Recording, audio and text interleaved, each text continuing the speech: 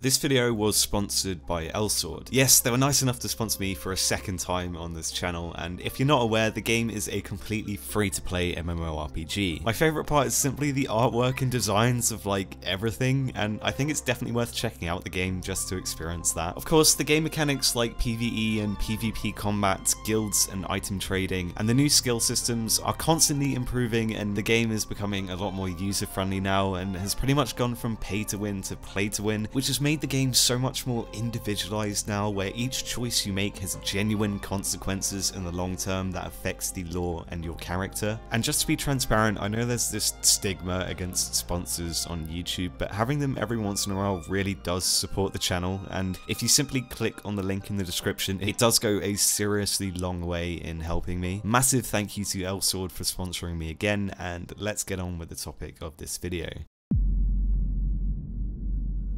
Attack on Titan is a story about monsters. And by the word monster, you probably think I mean just the titans, but that isn't the case. There are people in this world who act more cruel and inhumane than the titans ever could. People who have the capacity for mayhem and destruction. This series is filled with monsters in all forms. They are the perpetrators and oppressors of this world, be it the titans, corrupt officials, ruthless killers, the oppressive elite, genocidal pacifists, and most of all, our main character, Eren Jaeger.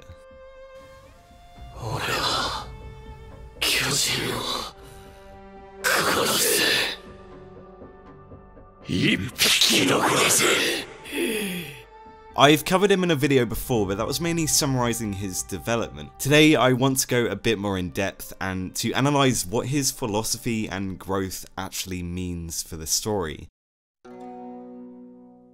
Isayama has always been someone that has valued freedom from oppression. This was because he lived an enclosed, sheltered life as a child, feeling frustrated that he was trapped without experiencing the outside world. And what I find interesting is that this specific frustration, this deep-rooted aspect of Isayama's personality, the need to not be restrained, the desire for freedom, and the conviction to move forward in the face of hardship, is shown most convincingly through our protagonist Eren Jaeger. Isayama gave a voice to his own experiences and fears through Eren, but that made him difficult and restricted. It made him less of a character and more someone that was forced to encompass the straightforward theme of fighting against oppression. Isayama even described Eren as being dragged along by the narrative and a slave to the story. And I find this description surprisingly ironic. Eren is supposed to embody the main theme of breaking free from shackles, yet he's someone who is innately chained down by his status as protagonist. But Isayama developed this idea. He made being a slave to the story the essence of Eren's character. He developed the simple theme of fighting against oppression that Eren stood for into something a lot more nuanced and a lot darker, almost twisting Eren into this grim character study of what fighting for freedom and never giving up does to a person in this cruel world. The one-dimensional enemies that were the Titans were replaced by the governments, Titan shifters, geopolitical enemies, and eventually the entire world itself. Isayama made the oppressors more human, and made fighting against that oppression more monstrous. He took this theme of fighting for freedom that is central to Eren's character and flipped it on its head. The world isn't wrong to fear the Eldian race because of their potential to turn into titans, and Eren isn't in the wrong to fight against that oppression to prevent the genocide of his race. But it's that pure act of fighting against oppression throughout the story that has turned Eren into a monster. In order to survive, he's had to develop his capability for malevolence and destruction necessary to fight for freedom no matter the cost. There is no pure evil or clear antagonist in the story anymore. It's become a nuanced human conflict with moral justifications on either side, but the world is still very much eat or be eaten, and Isayama has developed Eren's once simplistic philosophy of fighting against oppression as a means to integrate his more monstrous side into his personality. He had him turn from a naive, righteous victim into a dangerous, vicious perpetrator. And this development of Eren's inner monstrosity, his evolution from victim to perpetrator, can be seen throughout the key events of the story. When the series started, Eren lived in a small protected area and was naive to the true dangers of the world. He had a simplistic view on morality, people were either good or bad, morally black or white, and he believed his perspective was undeniably right. Most importantly, Eren always had this potential for violence and and destruction, but he was undisciplined in controlling it. Eren's naivety also meant that he wasn't prepared for anything on that fateful day. There was nothing he could do. He was just a child. His home was destroyed. His mother was eaten. He was vulnerable. He was powerless and he ran away. He was a naive victim but learned something very important. He understood that he was just prey. He experienced the truth of this world, that it's either eat or be eaten. By finally understanding his own powerlessness against the Titans, Eren used that as motivation to fight for his freedom until the day he could finally confront the monster. But as soon as he did that, he metaphorically and literally became a monster. A monster that he was unable to control. So how did Eren deal with this? Well, he developed his inner monster, his capacity for mayhem and destruction, voluntarily. And the fact that Eren develops it voluntarily is the most important part. People have the capability to act cruel and inhumane in this world, but most of the time they're forced to by other people or their environments. It's never their own free will. But the fact that Eren chooses to develop it voluntarily means that he can discipline it. He learns to control his darker side, which allows him greater control over his titan. When he first turned into a titan, he had no control whatsoever, acting on pure instinct, rage and desire.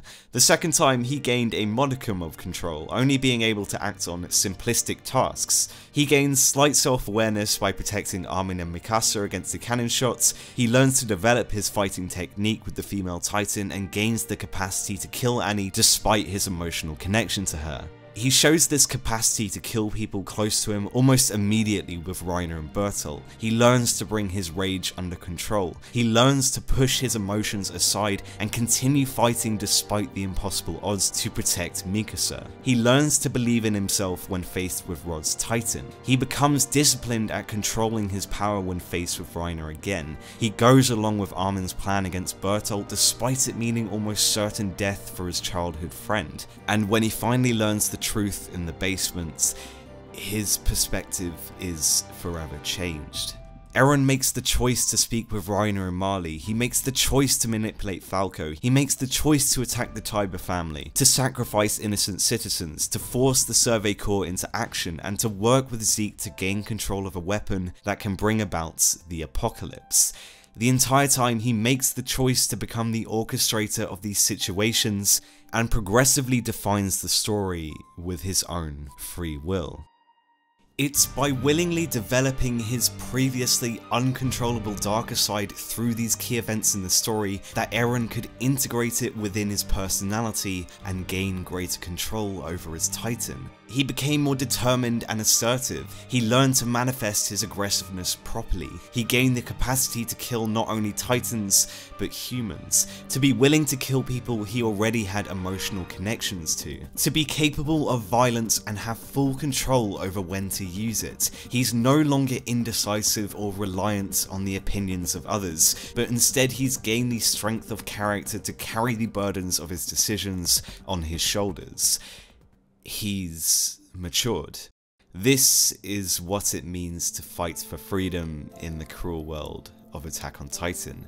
As Armin said countless times, 何も捨てることができない人には何も変えることはできないだろう he learns to integrate his darker side within a comprehensive and practical philosophy. His once motivational mindset of never giving up has now been twisted into a ruthless philosophy of fighting for freedom no matter the cost until his enemies are destroyed, no matter if his enemies are human or not.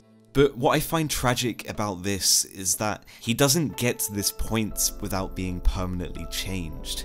He's touched by evil, he has a limited lifespan, his perspective has forever changed from his closest friends and the people who care about him. He's treated differently, he's lost their trust, he's never that carefree and happy Eren we see at the beginning of the series again. He's been contaminated with evil and the unknown. The ocean is the point where Eren's adolescence ends. When they reach it, he's only focused on cold reality, thinking about the dark future ahead of him. This is where he splits paths from Armin, Mikasa, and the Survey Corps. This is where he takes up the almost inhuman role of fighting the world itself. And it's at this point where I believe Eren Jaeger fully becomes the monster of the story.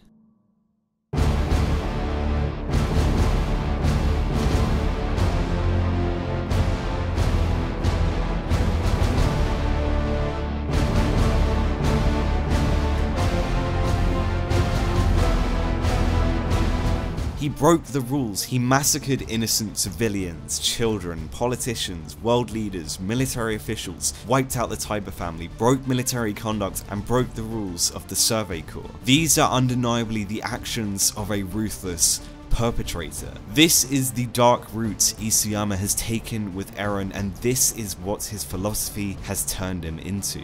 And this change has been a massive source of controversy within the story and community. Is Eren justified here? Was there really any other way? Do drastic times call for drastic measures? Does the end justify the means? And is Eren's extremist philosophy of fighting for freedom no matter the cost the only way to save Paradis? In return for breaking the rules and committing immoral acts, he killed the leaders of the Marleyan army, forced the Survey Corps to destroy its naval fleets and ports, gained the power of the Warhammer Titan, united the founding Titan in a shifter with royal blood, gave Paradis more time to prepare for an attack, and can potentially control an apocalyptic weapon. It's an interesting debate, but I'm not really interested in discussing whether he's justified or not. I'm more interested in his actual state of mind, and I think Eren provides the perfect quote to highlight this in chapter 97. I've been thinking every day since coming here, how did things turn out this way? Ruined minds and bodies, people with no freedom left, people who have even lost themselves. What kind of person would want to go to war if they knew they were going to end up like this? But there was something there all along pushing us right into hell. For most of us, that something is not our own free will. We're forced to by others or by our own environment. That's why the people who push themselves into hell see a different hell from the rest of us. They also see something beyond that hell. Maybe it's hope, maybe it's yet another hell. I don't know which it is. The only people who do know are the ones who keep moving forward. This perfectly encapsulates Eren's change from victim to perpetrator, but it has a tragic undertone. It gives off a sense that deep down, he's suffering. That he isn't just fighting on the battlefield, but fighting in his head at all times. His mind is tormented from the attacks he's committed, the influence of his titan powers, the memories of his predecessors, and the burdens he has to carry. From his talk with Reiner, we understand he no longer views his enemies as monsters. He understands their justifications and perspectives. He knows he's killing people, some of them victims, just like he was at the beginning of the story. And yet, he keeps moving forward. He's suffering whilst going down this path, but nonetheless suppresses his emotions in order to keep on fighting. It's an undeniably tragic aspect of his character. The fact that he's taken up this almost inhuman role and has become the enemy of the entire world. But this is the price for freedom. It's given us an entirely new perspective of his most iconic phrase, Tatakai, Tatakai. It's the sheer evolution of how Isayama handled this Tatakai philosophy and developed the theme of fighting against oppression that makes Eren's change so interesting. He's almost taken this orthodox shonen narrative of never giving up and believing in yourself that we've seen countless times in other shows and twisted it into its utmost darkest limits. There are justifications on either side, and he's almost willingly taken up this inhuman role of being the story's protagonist and antagonist. To some, he's a hero and saviour, and to others, he's the devil who will bring the apocalypse.